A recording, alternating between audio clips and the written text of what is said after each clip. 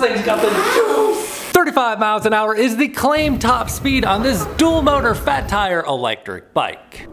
Whoa, holy crap, dude. And they say we can get 60 miles of range from the 48 volt 22 amp hour battery pack. And we should be getting a peak power of 2000 watts across the two motors. But do not buy the Boom Bike Zeegr S1 just yet. We need to crack this thing open and see what it's made of. We're gonna start this review off with a boom!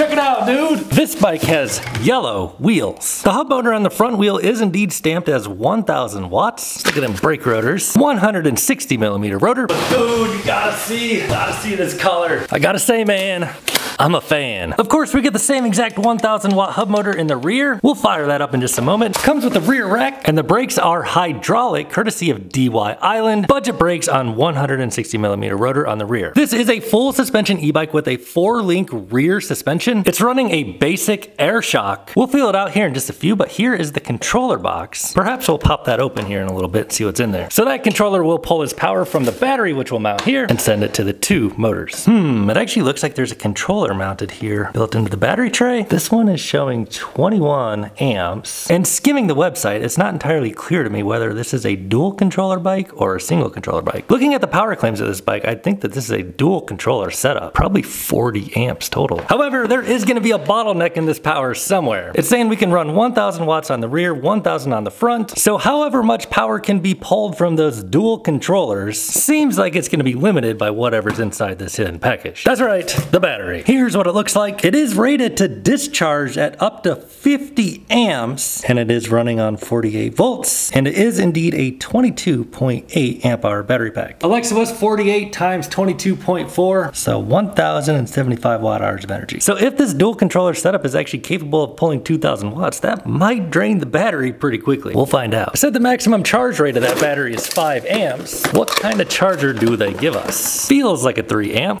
yes, it's a 3 amp. I guess these days I can just pick up a charger and tell how many amps it is. So 22.4 divided by 3, so about 7.5 hours to charge this thing from completely empty to completely full. Fortunately, they do not ship it completely empty. It looks like it's about 70%, 60%, somewhere in there. So we'll top that off while we build it. It's also got user manuals, a guarantee card information, tools, pedals, looks like a phone holder with a connection to the bike battery so you can uh, charge your phone directly from here. Sweet! The seat they give us is wide and has a little cutout the middle. There is a quick release lever for easy adjustments. Seat post diameter on this is 30.4 millimeters if you want to swap it. It's got lightweight plastic fenders. Zeegr bike. And by now you've probably noticed the dual crown fork up front. It's got gold stanchions, which I think flows pretty well with the yellow. And it's got a typical preload adjustment as well as a compression adjustment. Handlebars, aim, fire. They're relatively flat. They've got a key in there. A little bit of rise. Round rubber grips and a red button here for single or dual motor. Horn, light, pedal assist. Budget friendly DY Island hydraulic levers. And on the right side we can control our power with a quarter twist throttle. And if we want to use our legs, we can send our own power through a 7-speed Shimano shifter. Retail price is available in the link below this video. And I gotta say dude, we're a little bit matchy-matchy here. Drop some metal shavings down there. It's always a little bit more difficult to put the front wheel on when you got a motor. And you'll probably never see a quick release on a bike that has a front motor because you really gotta bolt these things down, make sure they don't rotate on you with all that torque. And here's how you connect that front motor. And the zip ties they give you aren't quite long enough to reach, dude. Don't worry, your boy's got some laying around here. That'll do it. Here's what it looks like when you put the fender on. Here's the headlight. We'll power that display up in a minute after we throw the pedals on, which I am noticing get kind of close to this front fender. We'll see if we have any clearance issues on the ride. The rear rack will add a little bit of weight and you get a reflector on back. Looks like some sort of battery operated light. My weight is 200 pounds. When I pick the bike up, the scale says 273. So the bike without the battery weighs 73 pounds. The battery weighs 10 pounds. So we have an 83 pound bike. But that's before we fill the Chaoyang tires up to the recommended PSI of 20. Which, how much weight does that add? Okay, I'll stop the dad jokes. Chainring on the front looks fairly large for some good high-speed pedaling, and there are seven gears on the rear cassette. They do give you a derailleur guard guard installed in case you knock the bike over. It'll protect your Tourney derailleur. So part of me wants to open up that box and see that controller, but the other part of me just wants to get this battery on there, see what this thing is all about. So let's power this thing up. Power button's down there, and we've seen this display before is color. So we get our battery readout up here in terms of bars, and it can, oh, that turns on the light. And we can tap through the options here and see we have odometer, max speed, average speed, and trip. This button will toggle between single and dual motor. There is no indicator on the screen, but I'm pretty sure you'll be able to feel it. Wonder what the horn sounds like. Horn is built into the light beep, beep. I'd say bicycle friendly, and now we can turn on the light, which here's what it looks like. You can adjust the angle just like this, and it's uh, fairly bright. The light on the rear is not integrated into the battery, but there's a button down here, and you can kind of tab between uh, some different modes here. Oh, we can be a police officer. How about that? Looks like they give you a little charging cable here for it. For your reference, here's what a six foot five dude with a 34 inseam looks like getting on this bike. Here's what my pedal stroke would look like. Puts me in a position to where I can put down some power of my own if I'd like to, and I can still touch the ground. Dropping the seat down to minimum height. This puts me in a more relaxed position, and here's what my pedal stroke would look like. Suspension feels like we're falling on a budget. It's really not bad because of the four link setup. You could swap that shock out if you want. Rear suspension is always very much appreciated, even if it's not top of the line. Of course we get five levels of pedal assist, so let's uh, try it out. So let's try rear motor, pedal assist five, ready, go! Something's rubbing. Holy crap, dude. Something's rubbing there, though. Oh, it's the fender, dude. Ugh. Where'd he go? Oh, there we go. Up to 31.1 where it cuts us off, but check this out. So it looks like you either run dual motor or rear motor. So let's see if I can actually do this. Dual motor, ready, go.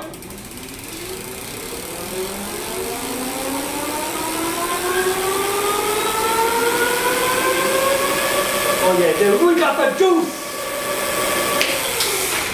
Looks like a juice joyride. Whoa! Yeah, dude! This thing's got the juice! I wonder how much power that is. That's, that's pretty snappy. All right, dudes, let's take the boom bike Zeegr S1 out for a ride. Of course, we'll start up the Strava. We'll bring the manual along in case we need to tinker with the settings. Of course, we're on a full charge on this dual motor electric bike. And one thing that's nice about this bike, it comes with a built-in phone holder here that is actually wired into the bike with a USB charging port on the bottom. So if you need to charge your bike, you can. So let's fire this thing up and get on out for a ride. I'm not entirely sure how I feel about this thing holding my phone today. We'll see how it pans out. Of course, the very first test we're gonna do is the 20% grade. We're gonna put this thing on pedal assist 5 and put it on single motor for starters. So let's go ahead, just one motor, see how this thing does on pedal assist 5, no pedaling. I weigh 200 pounds and it's actually almost doing it on single motor on throttle only.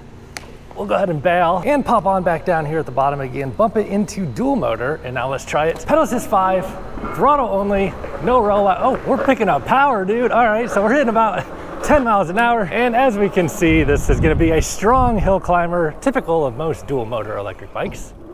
Whoa, holy crap, dude. A couple of first observations out here. This screen is relatively dim. I'm having a little bit of difficulty seeing it in the California bright light here. Can you see it through the polarized lenses? I've seen this display before, but I forget. Oh yeah, you can see it, but it's definitely like way now. It's like, it's, it's kind of hard to see. Fortunately, with the built-in phone holder here, we'll be able to have a uh, readout on the GPS the whole day, unless we drop our phone, that is. So let's go ahead and try the power modes now, bumping it on down to pedal this zero. Obviously nothing when you're pedaling it, and the throttle also does nothing on pedal assist zero. It would be really cool if it gave us like a readout for the power that this bike is outputting. Unfortunately, that is not the case, but uh, on pedal assist one here, let's give it throttle. Oh yeah, you get like, I'm pretty sure that is like all the power up until 12 miles an hour. So it is a cadence sensor. Let's start out here on pedal assist one and Oh yeah, dude, you can feel this thing's got good power. Let's put it on pedal assist 2, see what that does. So it's a cadence sensor. It doesn't matter how hard you're pressing on the pedals. I'm ghost pedaling right now and it's holding us at 16. And at about 16, 15 miles an hour, this is like a comfortable cadence. Let's try pedal assist 3. Boom, it hits you with that power again. Uh, it's got a pretty good kick to it. And now we're cruising at 21 miles an hour. Make that 22. Let's try pedal assist 3 here. Boom, it's picking up speed again. So pedal assist 4 will take us up to, I am pretty much ghost pedaling now at 25 25 miles an hour. I mean, I can put down a little pedal, a little pedal power, but uh, pedal assist 5 is, or pedal assist 4 is taking us to 25. Brakes, I can tell, definitely need some bedding in. They're not grabbing super hard out of the box. That's pretty typical. Oh my goodness. so riding position on this bike, I am noticing puts me a little bit up on the handlebars, It's kind of like a mountain bike riding position. Also helps you distribute your weight a little bit up on your arms to utilize that dual crown front suspension as well as the air shock on the on the rear. So suspension on this bike, you know, is relatively nice riding. Not, you know, the most plush full suspension I've ever tried, but certainly way better than, you know, there was no rear suspension. So we'll go ahead and bump that on pedal assist 5 now and twist on that throttle. We're on dual motor. This should be full power.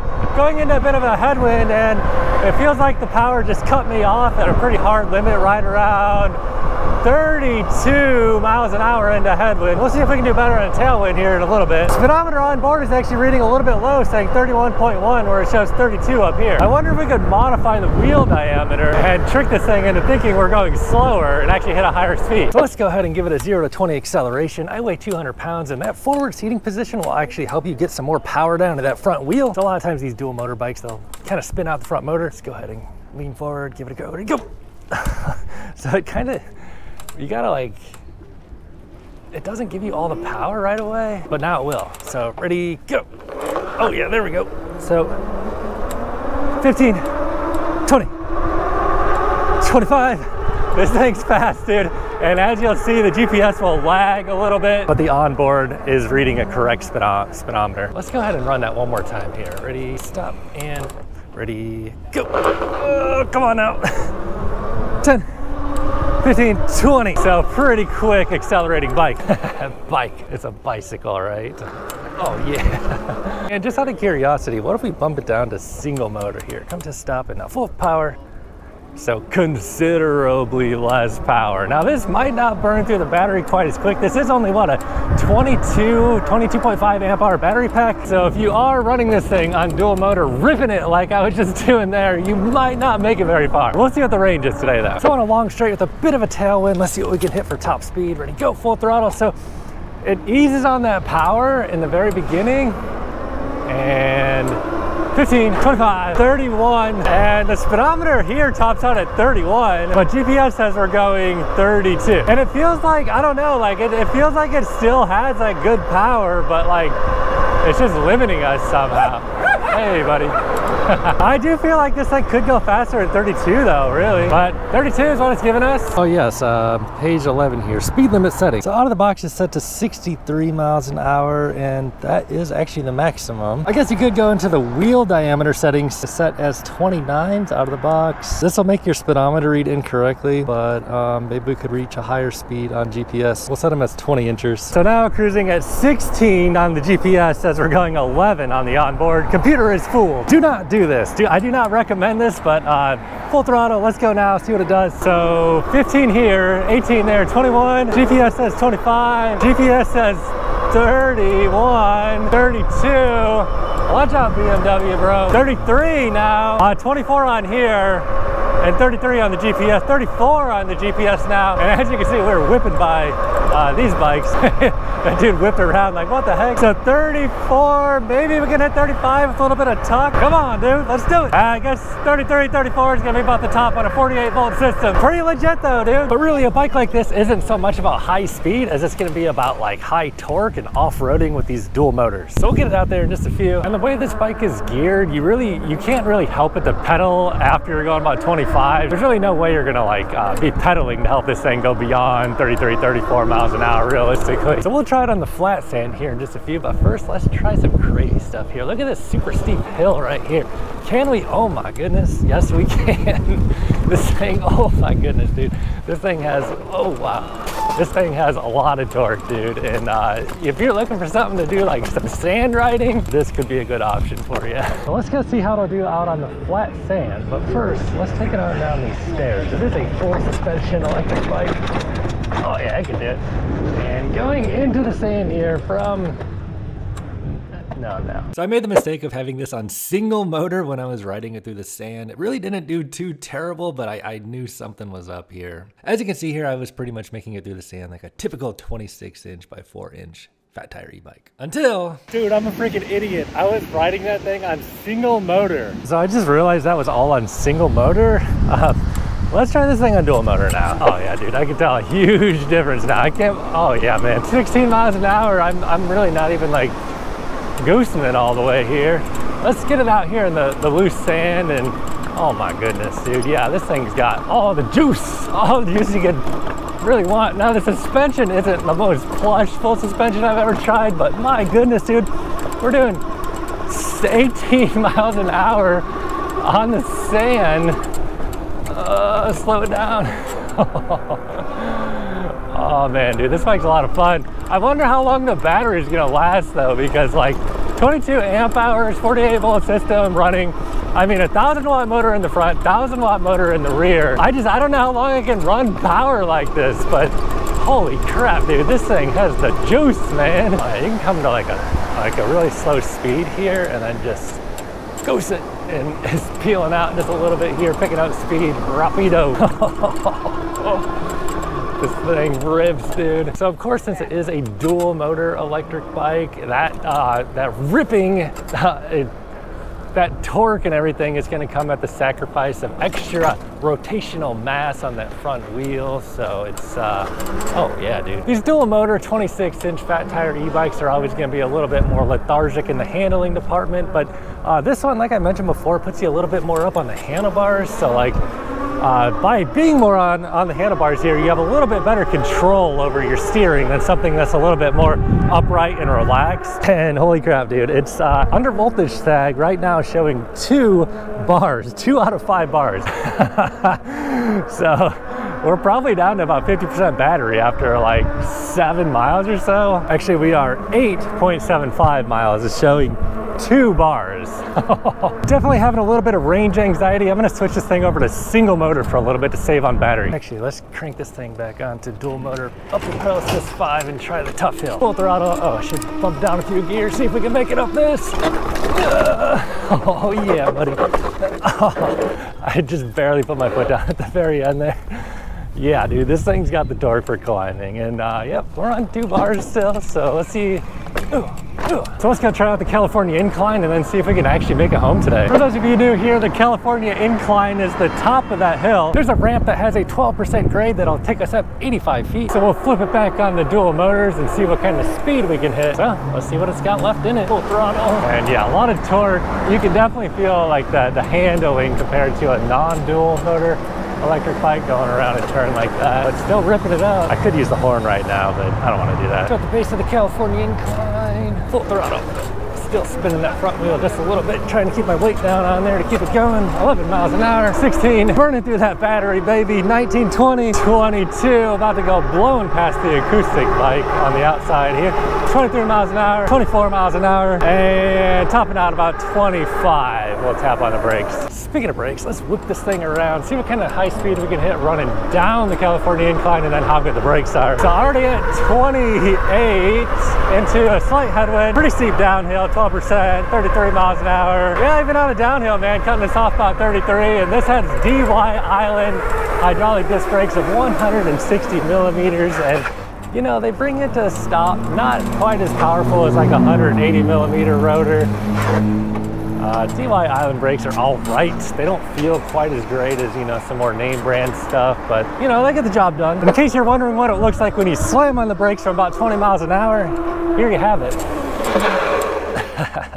so brake levers are fine. Again, know, not the most powerful brakes I've ever tried. Dude, I really just cannot resist myself when I see this sand. I just gotta get out. Oh, I almost lost it. you can't go into a turn like that. Oh, dude, this thing just rips, man. I'm gonna end up getting myself stranded out here running out of battery. Oh yeah, this thing has cruise control too. You just hold that plus button for like two seconds and uh, get a little better energy efficiency just by cruising if you want. So final thoughts on the Boom Bike Zeegr S1 dual motor. I mean, this bike is a beast of a bike. Um, Range will maybe be a concern for you. It really just depends on how hard you're pushing that power. This thing's really capable of drawing a lot of power and the battery isn't the largest. Overall, it is not a bad bike at all. This is single motor right now. So if you are looking for a dual motor high power bike, uh, this could be an option for you. If you do want to grab one, it is on sale right now in the link below this video in the description box. You can get at least a few hundred bucks off down there. And if you did buy through that link, it would help support my reviews here on Tail Happy TV. But before you buy it, let's head on home and see if, well, see if we can make it home and see what the final range is on this thing. See what kind of juice it's got left it here. Full throttle, let's go! Yeah, it's pulling us up the hill. We got this. hey, here goes our tracks from earlier. Let's go back over these. All right, dudes, just rolling up to the neighborhood here on 20.6 miles, hour and 40 minutes of ride time today, and we are showing officially one bar remaining on the battery. So on the way home, I did flip it over to single motor. The first half of this ride I did on dual motor and I was ripping pretty freaking good. A 48 volt, 22 amp hour battery pack is not small by any means, but when you are ripping dual 1000 watt motors, you can just drain that battery basically twice as fast. Now, of course, you don't have to do that. You could certainly be a lot more efficient with your power use than I was today. I really did not pedal this bike like at all, pretty much just ripping it, pedal assist five, dual motor. And as you can see, we were out there riding on the sand for quite a bit as well. So, you know, if I keep it in single motor, I could probably get maybe another five miles out of this bike. So I think that is a realistic range expectation you can see out of this bike. You're ripping it the way I was today. If this is the electric bike you want to buy, buy it through the link below this video in the description box. That'll give you the best price on it and it also helps support my reviews here on Tail Happy TV. However, if this is not the kind of electric bike you're looking for, watch this video next. Catch you over there.